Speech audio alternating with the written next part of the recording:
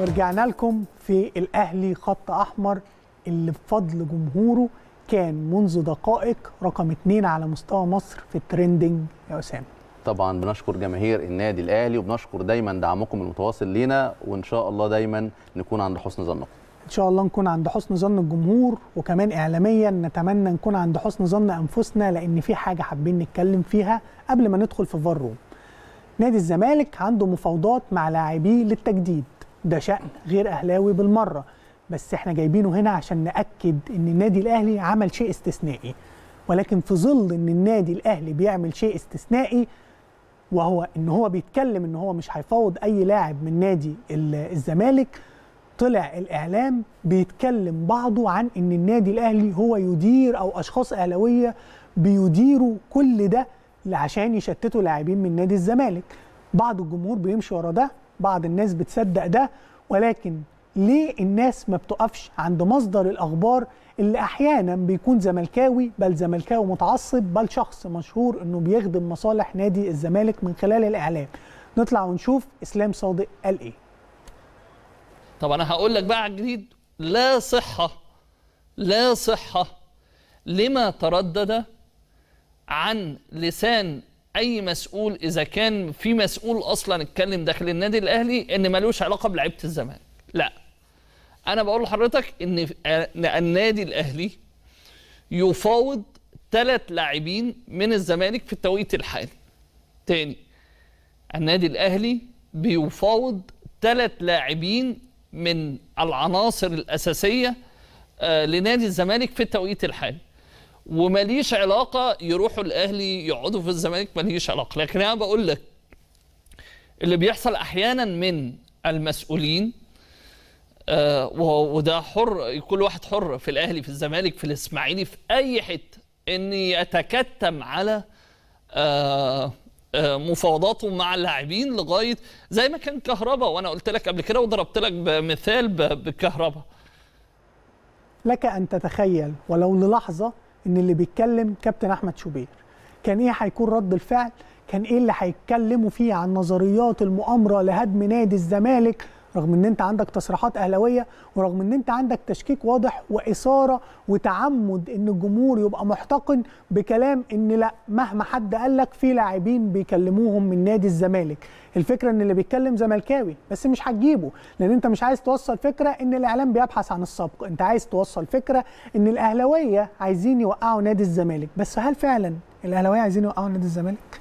أنا بس بعترض على فكرة لك أن تتخيل الكابتن أحمد شوبير. الكابتن أحمد شوبير إعلامي. الكابتن أحمد شوبير قبل ما يكون أهلاوي إعلامي. طبعا طبعا طبعا ورسالة. واضحة كمان. ولكن أنا بتكلم تخيل عن فكرة المفاوضات لأن كابتن أحمد. شوبير اتكلم في مفاوضات للأمانة مع زيزو بس مش النادي الأهلي. ولكن ده شغله المهني. حتى لو أنت بتتكلم بشكل إحنا نختلف معاه ده شغلك. بس مش عشان أهلاوي أو زملكاوي. تشوف الصورة كاملة أنت كزملكاوي. بس الكابتن أحمد شوبير بيعمل شغله صح. طبعا. آه، طبعا الأستاذ إسلام صادق آه، اتكلم قبل كده عن مفاوضات مع أوباما. النادي الأهلي بيتفاوض مع أوباما. قلنا ما ينفعش يا جماعة وما فيش حاجة من الكلام ده بتحصل.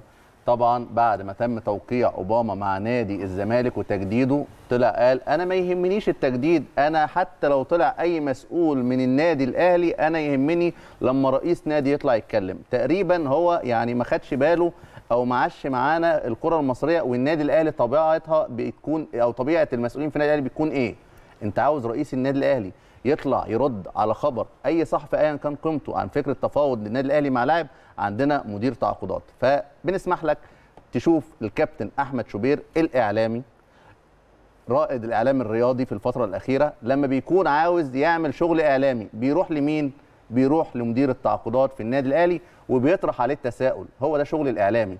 أما اللي حضرتك بتعمله ده شغل أنا أعتقد تخمين تنجيم ومحدش عارف يرد عليك في السكة دي لأن أنا بقول وهم هيتكتموا فبالتالي ملهاش ملكة. لكن الكابتن أحمد شوبير بيعمل شغله الإعلامي صح. نسمع الفيديو ده ونرجع نعقب. أول آه، أسألك آه، عن آه، موضوع أوباما لأن ده مهم جدا. لما أنا طلعت نفيت امبارح حد طلع قال لي انت ما بتفهمش وانت ما بتعرفش. قلت له يا عم كتر ألف خيرك. هل هناك أي تفاوض أي نوع من التفاوض بين الأهلي وأوباما سابقا حاليا مستقبلا؟ آه، حضرتك بص يا كابتن طبعا آه، أنا أحب أبدأ ال- الكلام إن إحنا مع طبعا مع احترامي لأوباما طبعا لعيب كبير ولعيب محترم وشخصية محترمة جدا. طبعا. بس إحنا هنبص على الموضوع أكتر من وجهة نظر النادي الأهلي ونادي الزمالك. تمام. تمام في الفترة الحالية إحنا دورنا كنادي أهلي. ودور إدارة النادي الأهلي إن إحنا نقف جنب الزمالك. آه، إن هو الفترة دي آه، محتاج مساندة من كل الأطراف. فإحنا بالنسبة لنا آه، من سابع المستحيلات. إن إحنا نتكلم مع لعيب مرتبط بأي تعاقد مع نادي الزمالك الفترة دي أو في أي وقت تمام فالنهاردة آه، أي كلام بيتقال من آه، آه، أي حد آه، سواء إعلامي أو من الجمهور أو حد بيتخيل. إحنا كان في كلام حصل برضه. لقيت كلام جاري النهارده إن في مش عارف مصطفى محمد آه، كنت آه، لسه هسألك على مصطفى محمد الأهلي- كمان. آه. الأهلي آه، هتودوه فرنسا و... هتودوه فرنسا وتجيبوه. لا الك- الكلام ده الكلام ده مش مقبول طبعا. مم. وإحنا إحنا بندعم جدا الفترات دي فكرة نبذ التعاقد ده شغل الإعلام المظبوط. أنا عندي مدير تعاقدات بجيبه على التليفون بسأله الأسئلة ال- الحوار اللي بيدور في الساحة الرياضية. يا أستاذ أمير أو يا كابتن أمير أنت بتتفاوض مع ده؟ كابتن أمير قال إيه بقى؟ قال حاجة أكدنا عليها من خلال البرنامج لما قلنا إحنا بنساند نادي الزمالك في محنته. نفس الكلام قاله مدير التعاقدات الكابتن أمير توفيق إننا كنادي أهلي بنساند نادي الزمالك عشان يعبر محنته. هو ده النادي الأهلي اللي بياخد البطولات أو بيحب ياخد البطولات في طريقه أقوياء مش في طريقه ضعفاء. أعتقد يا فارس موضوع قفلناه ووضحنا للناس يعني إيه تشتغل إعلامي. وضحنا للناس الفرق ما بين الأهلاوي اللي بيحاول كمان يعرض صورة فيها استقرار والزملكاوي اللي بيحاول يطلع أخبار بالشكل ده ومع ذلك أنتوا بتشوفوا بالعين اللي أنتوا عايزينها.